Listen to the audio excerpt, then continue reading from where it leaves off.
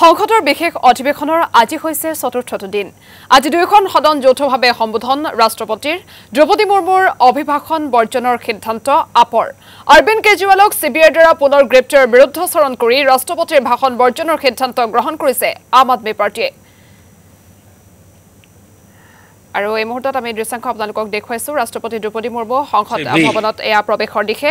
সংসদৰ বিশেষ অধিৱেশনৰ আজি হৈছে চতুৰ্থটো দিন। আজি দুয়োখন সদন যৌথভাৱে সম্বোধন কৰিব ৰাষ্ট্ৰপতি দ্ৰৌপদী মুৰ্মুৱে। দ্ৰৌপদী মুৰ্মুৰ অভিভাষণ বৰ্জনৰ সিদ্ধান্ত ইফালে গ্ৰহণ কৰিছে আম আদমী পাৰ্টীয়ে। অৰবিন্দ কেজৰিৱালক চি বি আইৰ দ্বাৰা পুনৰ গ্ৰেপ্তাৰৰ বিৰুদ্ধাচৰণ কৰি ৰাষ্ট্ৰপতি দ্ৰৌপদী মুৰ্মুৰ ভাষণ বৰ্জনৰ সিদ্ধান্ত গ্ৰহণ কৰিছে আম আদমী পাৰ্টীয়ে।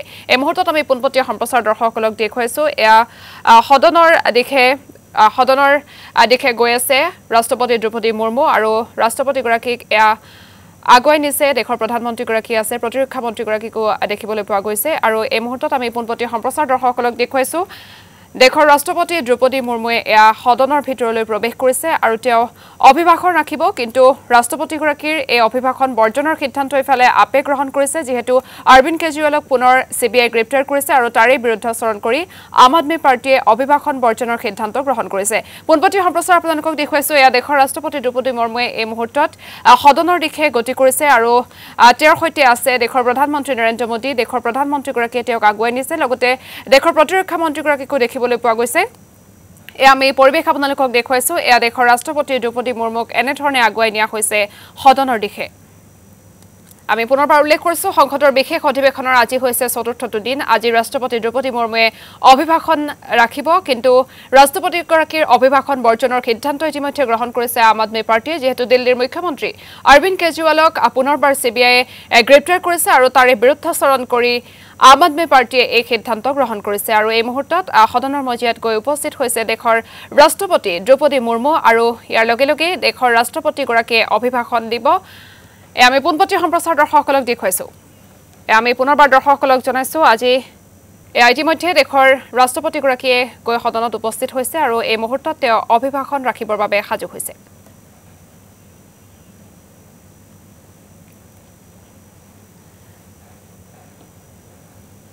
আৰু আজি দুয়োখন সদনক যৌথভাৱে সম্বোধন কৰিব দেশৰ ৰাষ্ট্ৰপতি দ্ৰৌপদী মুৰ্মুৱে। ইতিমধ্যে দেশৰ প্ৰধানমন্ত্ৰীগৰাকীৰ লগতে প্ৰতিৰক্ষা মন্ত্ৰীগৰাকীয়ে সদনৰ মজিয়ালৈ আগবঢ়াই লৈ আহিছিল দেশৰ ৰাষ্ট্ৰপতিগৰাকীক আৰু দেশৰ ৰাষ্ট্ৰপতিগৰাকীয়ে অভিভাষণ ৰাখিব। আজি যৌথ সদনক সম্বোধন কৰিব দেশৰ ৰাষ্ট্ৰপতিগৰাকীয়ে আজি সংসদৰ বিশেষ অধিৱেশনৰ চতুৰ্থটো দিন। এয়া আমি পৰিৱেশ আপোনালোকক দেখুৱাইছোঁ। আজি দুয়োখন সদনক যৌথভাৱে সম্বোধন কৰিব দেশৰ ৰাষ্ট্ৰপতি দ্ৰৌপদী মুৰ্মুৱে। কিন্তু দ্ৰৌপদী মুৰ্মুৰ অভিভাষণ বৰ্জনৰ সিদ্ধান্ত ইতিমধ্যে আম আদমী পাৰ্টীয়ে গ্ৰহণ কৰিছে। কিয়নো চি বি আই পুনৰবাৰ অৰবিন্দ কেজৰিৱালক গ্ৰেপ্তাৰ কৰিছে। দিল্লীৰ মুখ্যমন্ত্ৰীগৰাকীক এইবাৰ চি বি আই গ্ৰেপ্তাৰ কৰিছে আৰু তাৰেই বিৰুদ্ধাচৰণ কৰি দেশৰ ৰাষ্ট্ৰপতি দ্ৰৌপদী মুৰ্মুৰ অভিভাষণ বৰ্জনৰ সিদ্ধান্ত আম আদমী পাৰ্টীয়ে গ্ৰহণ কৰিছে। এই মুহূৰ্তত সদনৰ মজিয়াত গৈ উপস্থিত হৈছে দেশৰ ৰাষ্ট্ৰপতি দ্ৰৌপদী মুৰ্মু পোনপটীয়া সম্প্ৰচাৰ আপোনালোকক দেখুৱাইছোঁ আৰু এই মুহূৰ্তত দুয়োখন সদনকে অভিভাষণ জনাব। ইতিমধ্যে সম্বোধন কৰিবলৈ সাজু হৈছে দেশৰ ৰাষ্ট্ৰপতিগৰাকী। আমি পোনপটীয়া সম্প্ৰচাৰ আপোনালোকক দেখুৱাইছোঁ এয়া দেশৰ ৰাষ্ট্ৰপতি দ্ৰৌপদী মুৰ্মু। আজি দুয়োখন সদনক যৌথভাৱে সম্বোধন কৰিছে ৰাষ্ট্ৰপতি দ্ৰৌপদী মুৰ্মুৱে। আমি পুনৰবাৰ দৰ্শকসকলক জনাইছোঁ এয়া দ্ৰৌপদী মুৰ্মুৱে অভিভাষণ ৰাখিছে সম্বোধন কৰিছে দুয়োখন যৌথ সদনক। এয়া দেশৰ ৰাষ্ট্ৰপতি দ্ৰৌপদী মুৰ্মুৱে এয়া সম্বোধন কৰিছে যৌথ সদনক আৰু আজি হৈছে অধিৱেশনৰ চতুৰ্থটো দিন আৰু আজিৰ দিনটোতে দেশৰ ৰাষ্ট্ৰপতি দ্ৰৌপদী মুৰ্মুৱে এয়া দুয়োখন সদনকে সম্বোধন কৰিছে যৌথ সদনক সম্বোধন কৰিছে কিন্তু দেশৰ ৰাষ্ট্ৰপতিগৰাকীৰ এই অভিভাষণ বৰ্জনৰ সিদ্ধান্ত ইতিমধ্যে গ্ৰহণ কৰিছে আম আদমী পাৰ্টীয়ে। আম আদমী পাৰ্টীয়ে বিৰুদ্ধাচৰণ কৰিছে। ये दुनिया का सबसे बड़ा चुनाव था। करीब चौसठ करोड़ मतदाताओं ने उत्साह और उमंग के साथ अपना कर्तव्य निभाया है।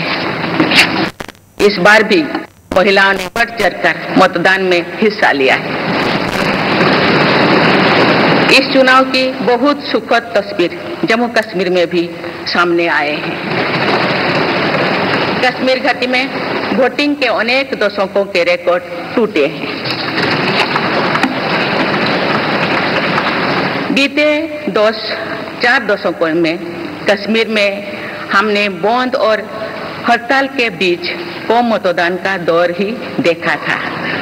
भारत के दुश्मन इसको वैश्विक मंचों पर जम्मू कश्मीर की राय के रूप में दुष्प्रचारित करते रहे। लेकिन इस बार कश्मीर घटी ने देश और दुनिया में ऐसे हार ताकत को करारा जवाब दिया है। पहली बार इस लोकसभा चुनाव में घर पर जाकर भी मतदान कराया गया है। मैं लोकसभा चुनाव से जुड़ी हर कर्मी को सराहना करती हूँ और अभिनंदन करती हूँ। माननीय सदस्यगण 224 2024 के लोकसभा चुनाव की चर्चा आज पूरी दुनिया में हो रही है। दुनिया देख रही है कि भारत के लोगों में लगातार तीसरी बार स्थिर और स्पष्ट बहुमत की सरकार बनाई है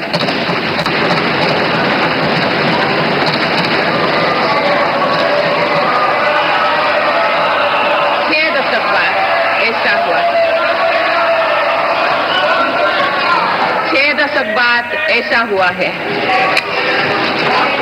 ऐसा समय में जो भारत के लोगों की आकांक्षाएँ सर्वोच्च स्तर पर है, लोगों ने मेरी सरकार पर लगातार तीसरी बार भरोसा जताया।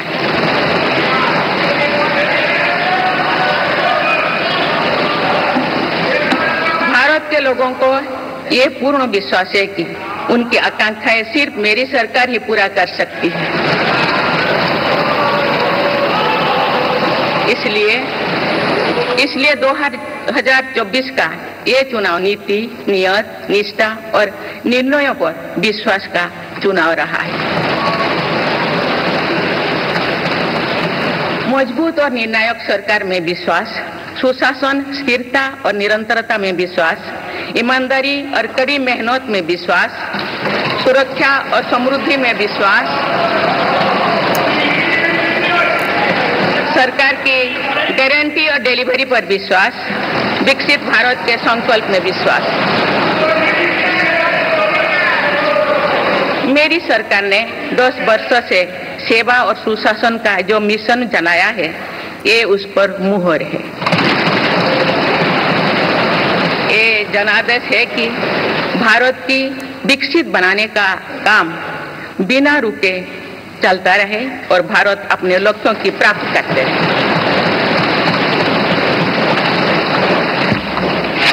माननीय सदस्यगण अठारहवीं लोकसभा कई मायनों में एक ऐतिहासिक लोकसभा है। ये लोकसभा अमृत काल के शुरुआती वर्षों में गठित हुई है। ये लोकसभा देश के संविधान को अपनाने के पचहत्तरवीं वर्षों की भी साक्षी बनेगी। मुझे विश्वास है कि इस लोकसभा में जनकल्याण के फ़सलों का नवीन अध्याय लिखा जाएगा।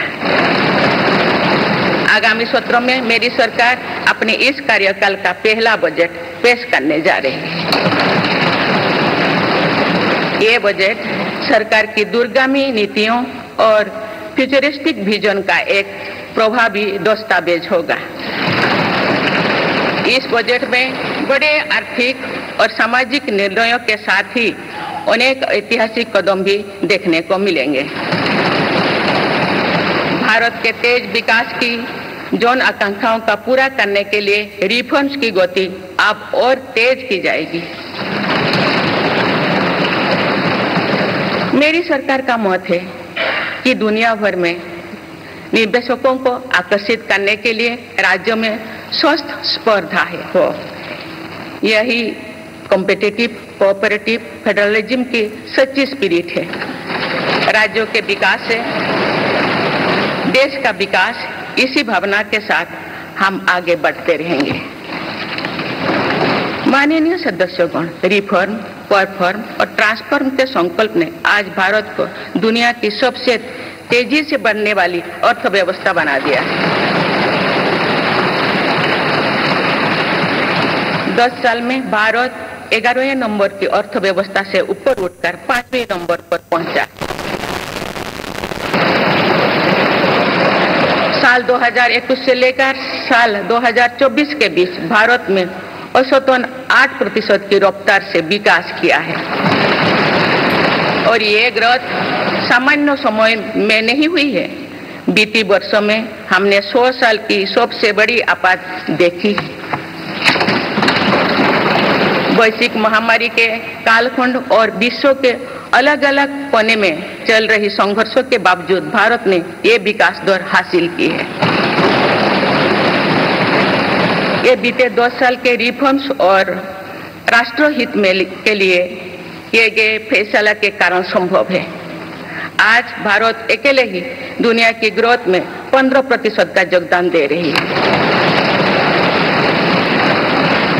आप मेरी सरकार भारत को विश्व की तीसरे नंबर की इकोनॉमी बनाने में जुटी हुई। है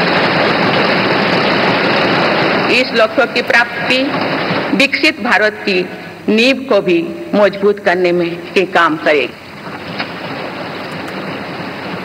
माननीय सदस्यगण, मेरी सरकार अर्थव्यवस्था के तीनों स्तंभ मैन्युफैक्चरिंग सर्विसेज़ और एग्रीकल्चर को बराबर महत्व दे रही है। पीएलआई स्कीम्स और ईज ऑफ़ डूइंग बिज़नेस से बड़े पैमाने पर निवेश और रोज़गार के अवसर बढ़ रही है। पारंपरिक सेक्टर्स के साथ साथ सनराइज सेक्टर्स को भी मिशन मोड पर बढ़ावा दिया जा रहा है। चाहे सेमीकंडक्टर हो या सोलर हो चाहे इलेक्ट्रिक व्हीकल हो या इलेक्ट्रॉनिक्स गुड्स हो, चाहे ग्रीन हाइड्रोजन हो या बैटरीज हो, चाहे एयरक्राफ्ट कैरियर्स हो या फाइटर जेट्स हो भारत इन सब सेक्टर्स में अपना विस्तार कर रहा है। लॉजिस्टिक्स कोर्ट्स को कम करने के लिए भी मेरी सरकार लगातार प्रयास कर रही है। सरकार सर्विस सेक्टर को भी मज़बूत करने में जुटे हैं। आज आईटी से लेकर टूरिज़्म तक हेल्थ से लेकर वेलनेस तक, हर सेक्टर में भारत लीडर बन रहा है। और इसके, इससे बड़ी संख्या में रोज़गार और स्वरोजगार के नए मौके बन रहे हैं। माननीय सदस्यगण, पिछले दस वर्षों में मेरी सरकार द्वारा ग्रामीण अर्थव्यवस्था के हर पहलू पर बहुत ज़ोर दिया गया है। गाँव में कृषि आधारित उद्योगों, डेयरी और फिशरीज आधारित उद्योगों का विस्तार किया जा रहा है। इसमें भी सहकारिता को प्राथमिकता दी गई है।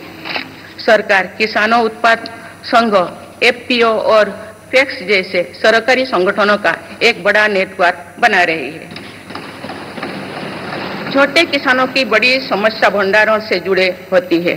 इसलिए मेरी सरकार ने सहकारिता क्षेत्र में दुनिया की सबसे बड़ी भंडारण योजना पर काम कर शुरू कर चुकी है। किसान अपने छोटे खर्चे पूरे करने के लिए इसके लिए पीएम किसान सम्मान निधि के तहत उन्हें तीन लाख बीस हज़ार करोड़ रुपये से ज़्यादा राशि दे सकते मेरी सरकार के नई कार्यकाल के शुरुआत दिनों से ही किसानों को बीस हज़ार करोड़ रुपया से अधिक की राशि ट्रांसफ़र की जा चुकी है। सरकार ने खरीफ फ़सलों के लिए एमएसपी में भी रिकॉर्ड वृद्धि की है। माननीय सदस्यगण आज का भारत अपनी वर्तमान जरूरतों को ध्यान में रखते हुए अपनी कृषि व्यवस्था में बदलाव कर रहा है। हम ज़्यादा से ज़्यादा आत्मनिर्भर हो और ज़्यादा से ज़्यादा निर्यात से किसानों की आमदनी बढ़े, इस सोच के साथ नीतियाँ बनाई गई है, निर्णय लिए गए हैं। जैसे भारत दलहन और तिलहन में दूसरे देशों पर निर्भरता कम करने के लिए देश के किसानों को हर संभव मदद दे रहे हैं। ग्लोबल मार्केट में किस तरह के फ़ूड प्रोडक्ट की डिमांड ज़्यादा है, इसके आधार पर नई रणनीति बनाई जा रही है। आजकल ऑर्गेनिक उत्पादों को लेकर दुनिया में डिमांड तेज़ी से बढ़ रही है। भारत के किसानों के पास इस डिमांड को पूरा करने के पूरा भरपूर क्षमता है। इसलिए सरकार प्राकृतिक खेती और इससे जुड़ी उत्पादों की सप्लाई चेन को सशक्त कर रही है। ऐसे प्रयासों से किसानों का खेती पर होने वाला खर्च भी कम होगा और उनकी आय भी और बढ़ेगी। माननीय सदस्यों को आज का भारत दुनिया की चुनौतियाँ बढ़ाने के लिए नहीं, बल्कि दुनिया को समाधान देने के लिए माना जाता है। विश्व बंधु के तौर पर भारत ने अनेक वैश्विक समस्याओं के समाधान को लेकर पहल की है। जलवायु परिवर्तन से लेकर खाद्य सुरक्षा तक, पोषण से लेकर सस्टेनेबल एग्रीकल्चर तक हम अनेक समाधान दे रहे हैं। हमारे मोटे अनाज श्री अन्न की पहुँच सुपर फ़ूड के तौर पर दुनिया के कोने कोने में हो, इसके लिए भी अभियान चल रहा है। भारत की पहल पर पूरी दुनिया ने वर्ष 2023 में इंटरनेशनल मिलेट्स ईयर मनाया। हाल ही में पूरी दुनिया ने अंतर्राष्ट्रीय योग दिवस भी मनाया है। भारत की इस मोहन